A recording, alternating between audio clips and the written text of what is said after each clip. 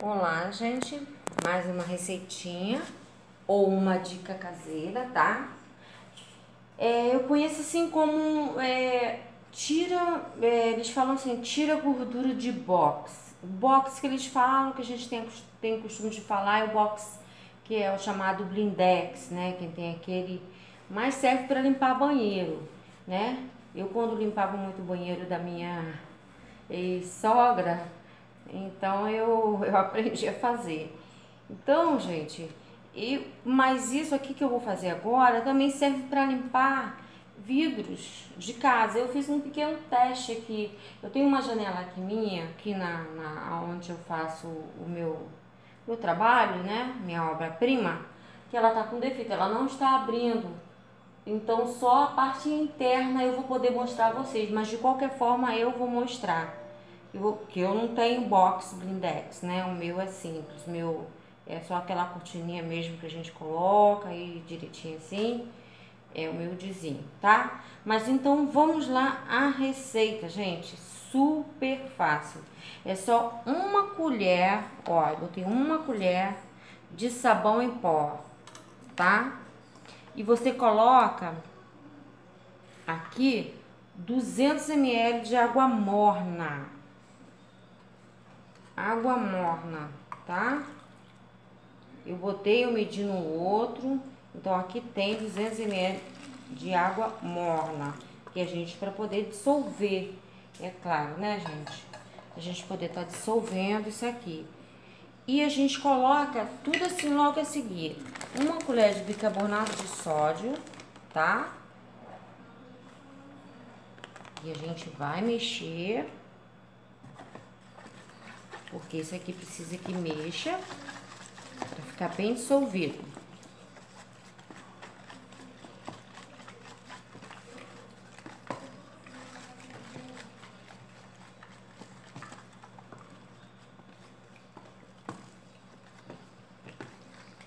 Já deu uma engrossadinha aqui já.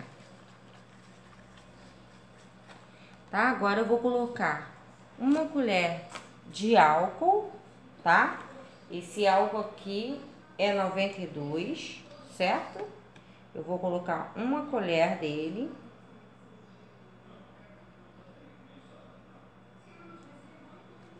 Tá aqui uma colher dele. Eu vou colocar uma xícara ou 200 ml de vinagre. Ó, vai espumar, coloquem assim. E vão mexendo. Eu já trouxe até uma bacia, caso fosse necessário, para eu poder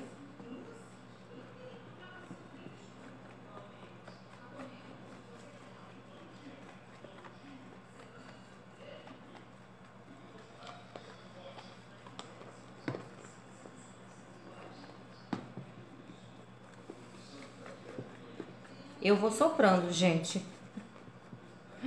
Vocês podem não acreditar. Mas eu sou daquela que vai soprando assim, acredita que o sopro vai baixar a poeira, vai baixar a poeira. A bacia maior tá ali, mas eu achei que isso aqui não fosse subir tanto.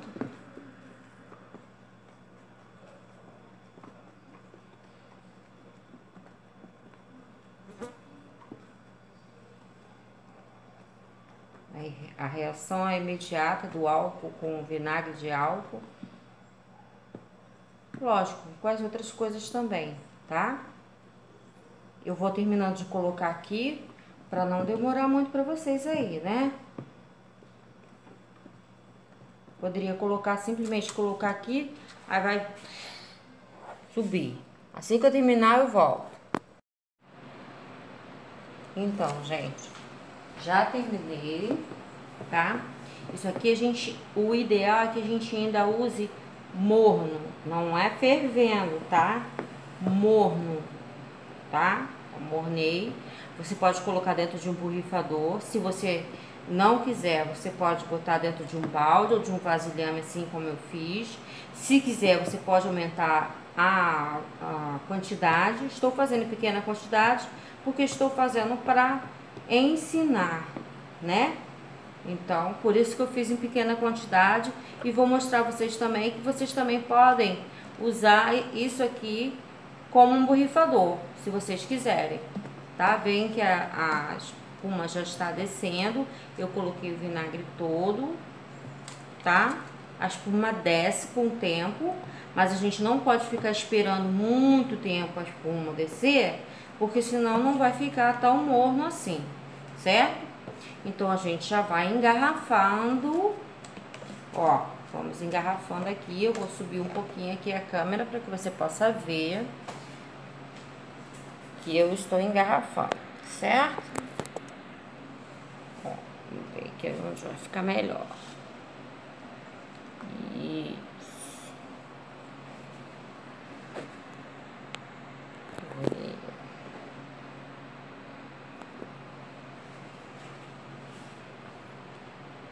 Já tá tudo bem, misturadinho aqui, mas eu vou misturar de novo.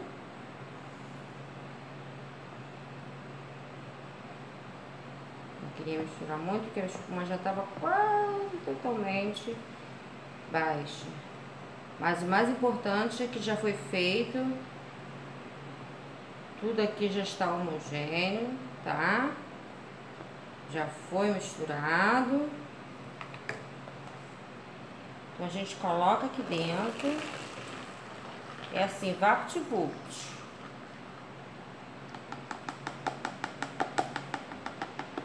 Ó, coloquei tudo. A espuminha parece que tá aqui. Vou tampar, tá? Aqui é meio difícil de tampar, né? Esse. Mas não vou deixar de tampar.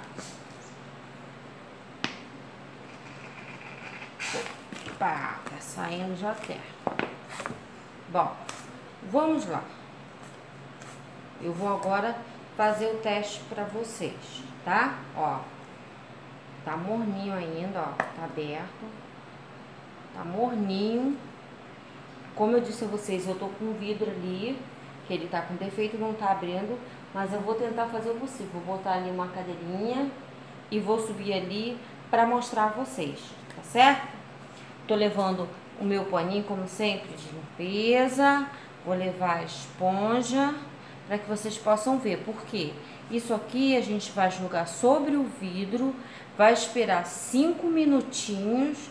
Você não vai ser nem preciso, se você quiser, você passa. Você não precisa nem molhar, tá? Aí você passa a esponja e depois você enxágua, você joga água. Por isso que eu preferi aquele, aquele vidro ali, porque fica próximo à minha pia e eu posso jogar água ali, se molhar não tem problema, tá? Mas aí aqui, ó, já tá prontinho e eu vou mostrar você. Então não esqueçam que isso aqui é um tira gordura de box, vamos falar assim, de box, de vidro, tá? O que você precisar, qualquer vidro, espelho, vai limpar a porta que você precisa estar limpando, né? Tem aquela porta de ferro, a minha porta de ferro, tem aquele vidro, né? Aquele é, que eles chamam canelado, tem, tem, tem vários tipos de, de vidro, que é colonial, de, de janela colonial. Então, limpa mesmo, tira aqueles detalhezinhos, tá? Não vou demorar muito para não, não esfriar a nossa mistura, tá? Bom, gente, já estamos aqui diante da janela, que aqui já está escurecendo, mas eu acho que vocês estão vendo a sujeira do vidro. Até lá em cima eu deixei para vocês poderem ver. Ela não abre do lado de fora, porque ela quebrou essa partezinha aqui dela. E eu ainda não tive condições de trocar. Para vocês verem, ó, eu tava lavando louça. Eu tô aqui, ó, na minha pia, tá? Então, nós vamos agora, apesar de eu não ter fechado totalmente, nós vamos borrifar, né? Deixa eu primeiro abrir aqui.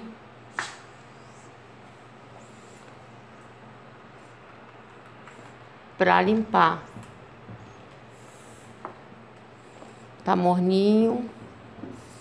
Quem tem o borrifador né?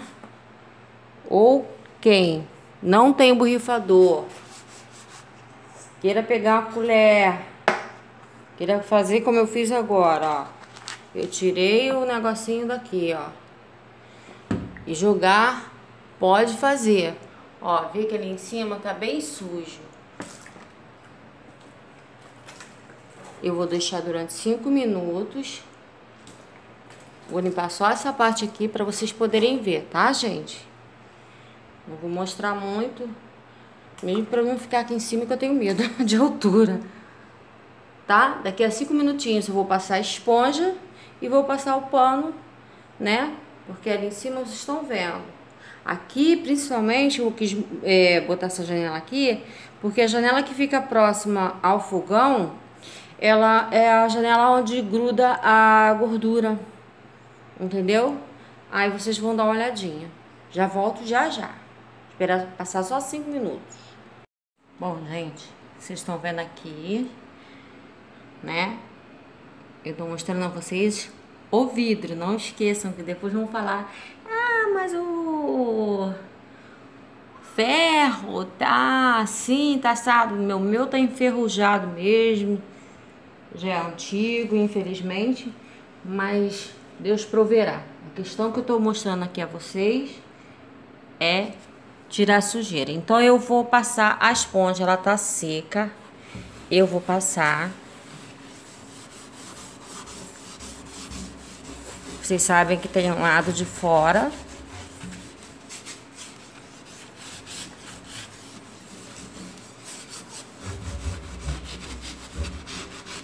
Aí vocês vão perguntar, por que você não tá botando aí embaixo, André? É que aqui embaixo, posso mostrar pra vocês, é que tem aqui um, um adesivo que eu colei do lado de fora. Mas eu quero mostrar é que tira a sujeira, tá?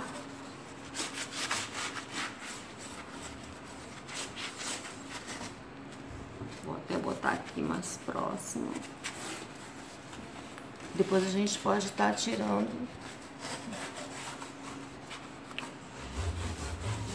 Com pano, né?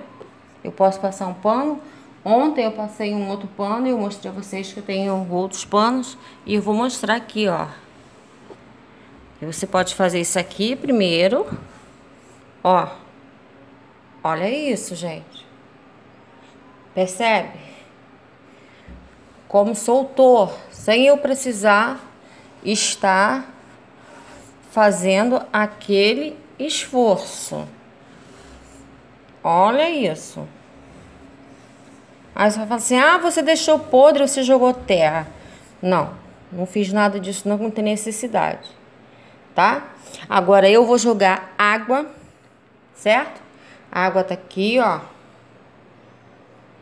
Vou jogar água pra gente enxaguar. Andreia, que bagunça. Tem problema não. Depois eu conserto essa bagunça aqui. Mas eu quero mostrar a vocês que é verdade.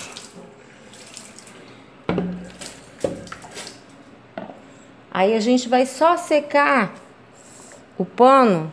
Eu botei esse lado aqui, tá, gente? Ó. O pano tá seco. Eu vou virar o outro lado. Ou eu vou pegar o outro pano, se for o caso. Né? Mas ele já molhou até. Pra gente também tá passando. O ideal é que não tenha pelo, solte pelo, gente, ou qualquer fiapozinho, tá? para que ele possa ficar assim brilhoso. E outra coisa, não adianta você fazer isso aqui porque não limpa. Ou você faz só isso, ou você faz só isso. Como o meu, ele tem essa divisória aqui, eu não sei como é que se fala. Então, o ideal é que eu faça assim. Então, aqui, ó, virei o outro lado dele, tá? E vou secar. E vocês vão ver o brilho.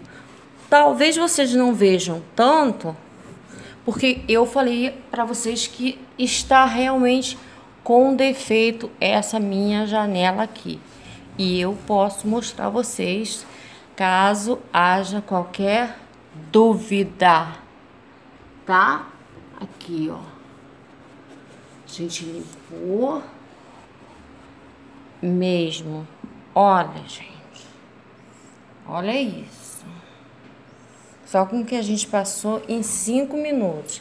E não esquece, tá?